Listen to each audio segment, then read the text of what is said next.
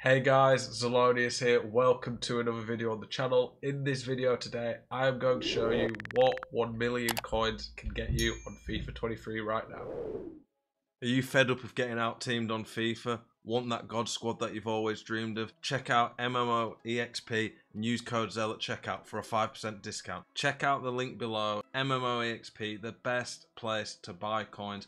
So we're at the point of the game now where squad builders are in kind of two ways harder, but then also easier. They're harder in the sense of there's so much choice, so many different ways you can build players, so many different promo cards that have come out, so many different ways to get chemistry. But then um, that makes it harder, in my opinion, because it's almost like how do you even figure out all these and try and remember all the options? But it's also easier because there is more variety. Um, I feel the squad builders at the high end are a bit of a nightmare just because the price of some of the top top tier cards is bad. But in this video, we're looking at what 1 million coins can get you. We're going to be showing you two team examples. One is purely La Liga Santander, the Spanish league. I think in this league, there is a lot of really good quality for good price, whereas I think some of the other leagues maybe even don't lack, they kind of lack quality towards the higher end at reasonable value, or they just don't have a lot of quality until you spend stupid coins. So French league, for example, has got some of the very best players in the game, but you can't afford them in a cheap squad builder. And then the second team is going to be mostly one league with a little bit of hybrid. At this point in the game, it's a lot easier to hybrid and put in some elite players who are reasonable value, You're going to get chemistry um, to build out these squads. And if you like these videos, I'll do more at higher budgets, mix it up. I know the squad builds have always been pretty popular on the channel. So for here, we're starting with Courtois in there. When it comes to your keeper, there is never a reason for me, unless you're on an absolute minimum budget, just starting the game out or trying a new road to glory. There's no reason not to go for a high rated keeper. These keepers make a big difference. The tall ones with good stats tend to be the best. And the thing about them is, the price you pay for them, they pretty much always hold because they go for their fodder price anyway. Right back Jordan Amavi. I've mentioned him in a lot of my videos. Beast of a card fast, real, really, really, really good physical stats for an 87 right back. Very good defending, pretty good on the ball, decent passing. But when you bear in mind he's also got five star weak foot, really, really nice card. Uh, Antonio Rudiger, so it's a million coin team. This team probably goes to 1.1, 1.2 mil, depending on price fluctuations. But Antonio Rudiger's in there to help um, lower the price a bit. Very, very cheap card and still pretty decent. A little bit off the curve, but still pretty good at this point. Koundé, very good centre back. He's at that kind of level of centre back that are reasonably valued for how good they are. And then after him and only a couple more centre backs, it just starts getting to a stupid price.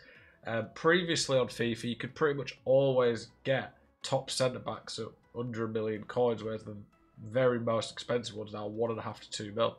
Uh, Gold Mendy, again, a card that I preach by always insane on FIFA. You're never going to have a FIFA unless something drastically bad happens to his real life form, where Mendy is not going to be really good. Ousmane Dembele. In cheap teams, he's always there as a gold player at the start with his 5-star, 5-star, some nice pace, dribbling stats. The inform fits into this team. If you want to really make it to a million coin team, you could swap him for his gold. Bit of a downgrade. This one's about 90k, so I think pretty good value for a decent upgrade to a very good card. Uh, Vinicius Souza, definitely not amazing, but four star weak for elite physical, elite defending, okay pace. He's off the curve in terms of compared to the top midfield, he's a bit slow, but that pace for someone who's got that much physical defending stats can pass, decent weak foot. He's going to be a bit clunky, but he's very cheap. Nice to use a bit of a different card as well. So I think he's pretty good value in this team. We have Pedri's team here, honourable mention. You could always swap him out for Gavi. Uh, you could swap him out for his team in the tournament to lower the price, or go up to Frenkie's Path to Glory if you want to try different cards out. But I think this Pedri is really good, especially combined with that Vinicius Souza. Five star, four star, pretty quick for a midfielder, elite passing, great on the ball, and his defending physical fine. Vinny Jr. So we've got two Vinicius in there. Um, and this one is 20k now. At one point, he was like 250, 300k. With a hawk, he gets 99 pace. He's rapid. He's got great dribbling. Five star, four star. One of the best value players in the game now. Still plays well. Vinny's probably another card that you could use in the end. of FIFA and he'd still be usable. Griezmann now, this is where nearly the whole budget in this squad goes. And there's not many players who are transcendent in, I don't want to say genre, playing FIFA, but who are transcendent in their budget. Griezmann at like 650k, which I think he's alright right now. I paid 540 for a bargain. That five star, five star with a hunter. His pace is pretty good. It's not like top top end, but it's pretty good. Insane shot, great passing, one of the best dribblers in the game. Very very good physical, pretty decent in the air, even though he's small because of his stats. Like he is insanely priced, um, especially when you consider you can hybrid him with French. Um, he's one of the top top value players in the whole game. So it's one of the reasons we sacrificed elsewhere to get an elite attacker in this team. And then, honestly, still a pretty usable card. He's a little bit one dimensional. I would probably go Hunter on him just to get that acceleration and finishing up. You could go Engine um, if you want him to be a bit less clunky. But I think Sorloth, still a bit of a beast. Will still feel rapid. Absolute tank. Good in the air decent on the ball for a big man. Shooting's fine, his passing ain't as bad as it looks. Four star weak foot. He'll still be a beast and partner Griezmann well up front. That is team one. Let's go look at our team two and see what we think of that.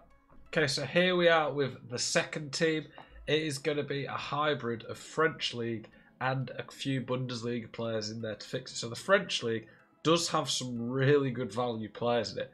But go to the top end and start getting some of their elite, elite defenders, um, or um, especially centre backs, there's not really a lot of value. So you'll see why we've done what we've done. So we have Manuel Neuer in net, top keeper. You could just go Donnarumma, but Neuer's really useful for the centre backs chemistry.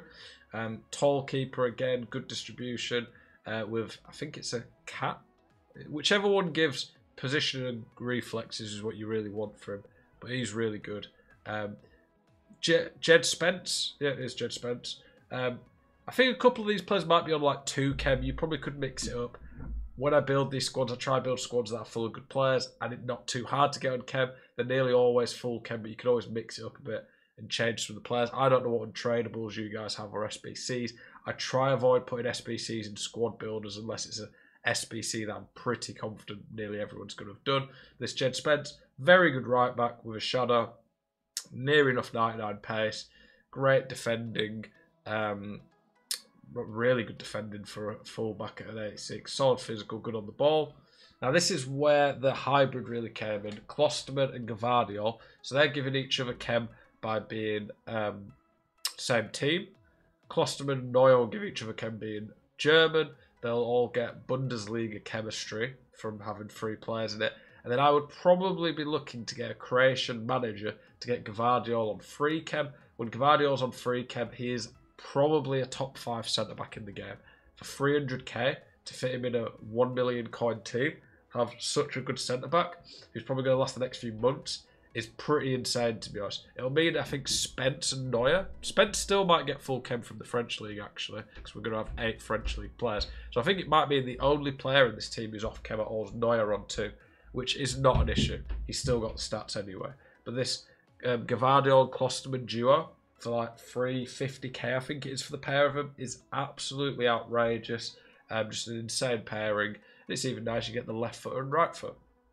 Ismaili, another left back that I've talked about quite a bit. Uh, very, very solid choice. Good stats across the board. Um, the CDMs in this team are a bit limited. Uh, the French league definitely is a little bit limited there on the midfield. Guendouzi is actually very good, to be fair. Um, lacks the weak foot, but he's in the Gullit gang. Any card in the Gullit gang already is going to be pretty damn usable. But yeah, very good card. Definitely recommend um, using him. If you've got, so there's quite a lot of SBCs in this league, and I don't know what people have got, or people might have icons that they can fit in, World Cup heroes, etc. So you can mix it up. But Fofana is a pretty good cheap one you can put in if you don't have anyone like that. Diatta, surprisingly really good card.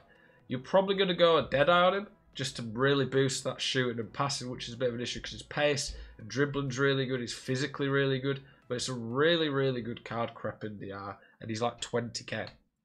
Neymar. Now, Neymar, again, always a top, top tier gold card when the game launches He's 65k right now. I don't get how a card like him is nearly at fodder price.